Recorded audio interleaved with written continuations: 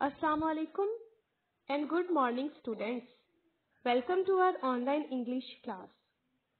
Today I'm going to teach you the exercise of the poem My Cat. Understanding the poem, write the answers of the following. Our first question is Is Rish male or female? क्या रिश mail है या female है mail use होता है आदमी के लिए female use होता है औरत के लिए। So answer is Rish is a male Rish एक मेल है। Next question does Rish have hair or fur क्या रिश के बाल हैं या उसकी खाल है? वट इज़ इट लाइक वो किस तरह की है? Answer is Rish has white fur Rish की खाल सफ़ेद है।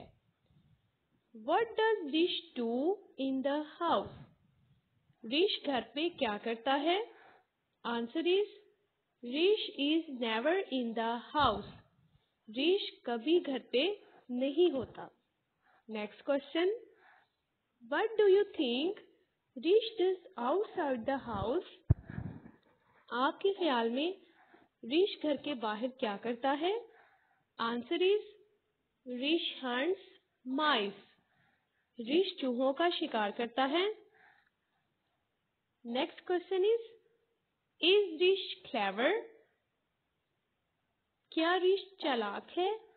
Yes Rish is very clever जी हाँ रिश बहुत चालाक है। इन योर ओन वर्ड्स अपने लफ्जों में से वॉट रिश इज़ लाइक बताएँ कि रिश क्या पसंद करता है। द क्लेवर वाइट रिश चलाक सफ़ेद Rish likes to eat fish मछली खाना पसंद करता है। Let's see the next question working with words can you hunt like Rish क्या आप रिश के जैसा शिकार कर सकते हैं? फाइंड द वर्ड्स इन अल्फाज को तलाश करें। They are all in the poem ये सब आपकी नज़म में है। The letters are jumbled jumble letters यानी कि लेटर्स जो हैं, वो उनकी अरेंज करना है उनको और उनसे एक वर्ड बनाना है। एक साइड पे जम्बल्ड हैं और दूसरी साइड पे वर्ड्स हैं। फ़र्स्ट है हमारे पास वर्ड टी ए सी इसको हमने अरेंज करना है। तो क्या वर्ड बनेगा?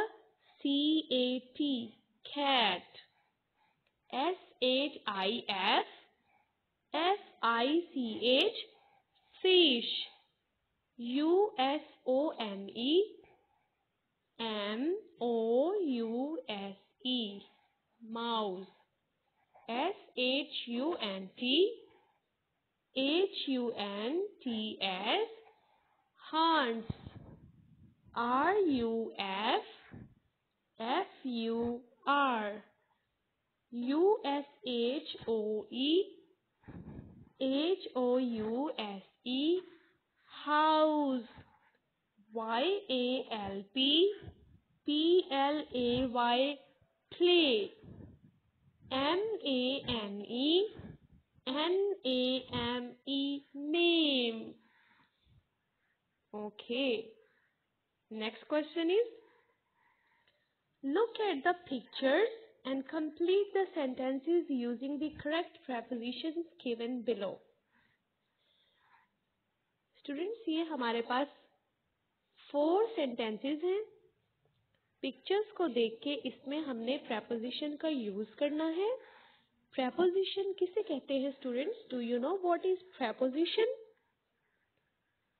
preposition ऐसे वर्ड्स होते हैं जो किसी सेंटेंस में नाउन की या प्रोनाउन की पोजीशन को शो करते हैं। जैसे under on down up under कहते हैं नीचे ऑन ऊपर डाउन नीचे अप ऊपर। Okay, first one is, Anwar is dash the log. Anwar is dash the log. यहाँ से आंसर हम कौन सा यूज़ करेंगे इसमें? On Anwar is on the log log किसको कहते हैं? ट्री की ट्रंक को कहते हैं लॉग डी स्टेटमेंट देखिए।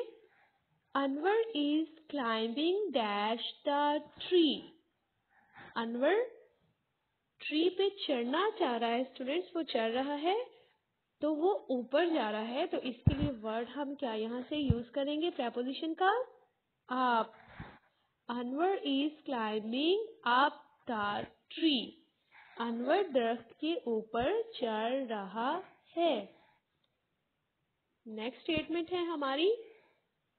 The leaf is falling dash the leaf is falling dash ये लीफ है, ये गिर रहा है और ये कहाँ गिरेगा? नीचे आएगा।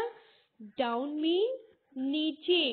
The leaf is falling down पत्ता नीचे गिर रहा है।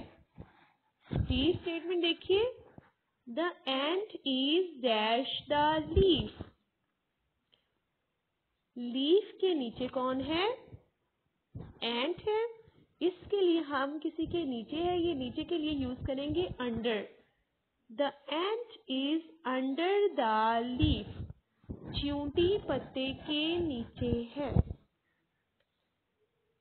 नेक्स्ट क्वेश्चन है हमारा activity from workbook talk about your pets if you do not have a pet which pet would you like why how will you look after it what will it eat?